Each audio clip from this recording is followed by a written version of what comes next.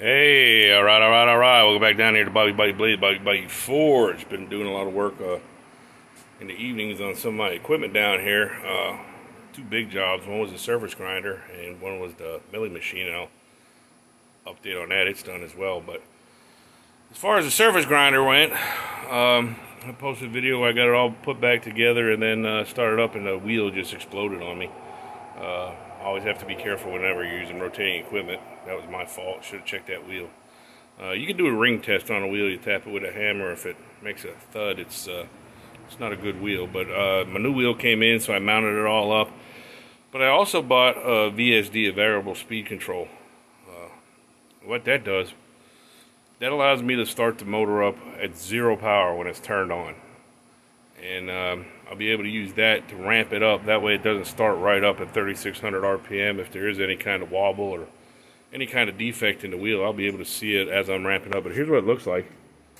So if you can see here, basically it's just a just a box.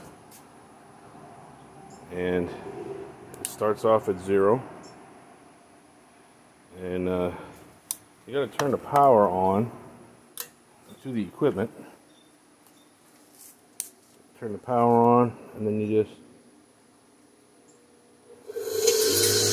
just, just start it up. As you see, there it's at zero. Just get it go on at 25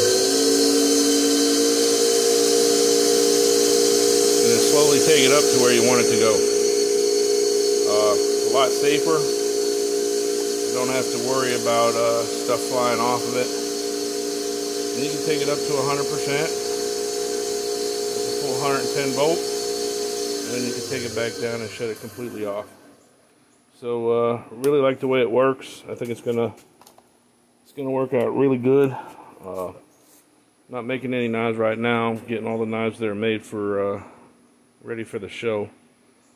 Uh, that'll be in two weeks. Really looking forward to that. But uh, I think this is going to be a really good uh, addition to the shop. Going to cut down on some time.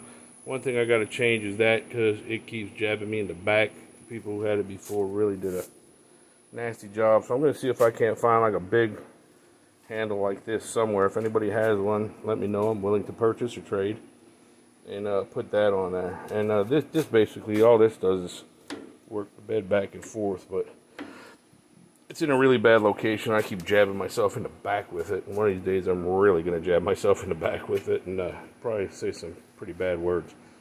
But uh, that's the surface grinder. It's done. It's ready for action. So hey, y'all get a chance, uh, go over check out my YouTube channel. Get all your friends to check out my YouTube channel. Get them likes and subscriptions out. I haven't posted for a while, but after the knife show, I'm gonna start making. Uh, I'm gonna start making a bunch of knives. I'm gonna start making some uh, some Hollywood style knives. I think some really uh, really off the wall kind of stuff. Once uh, the stress of the knife show is done, and uh, you get a chance, go over and check out my website, BobbyBayouBlades.com. All one word, BobbyBayouBlades.com. Just check it out. Even if you just put a comment, hey, like your stuff. I got some pictures of uh, some people that I have made knives for on there. Some of my family shows all the stuff I can do, all the stuff I'm willing to do. So y'all have a great day. And remember, my job is to make you quality blades. Your job is to make me famous for 2024. All right, all right, all right.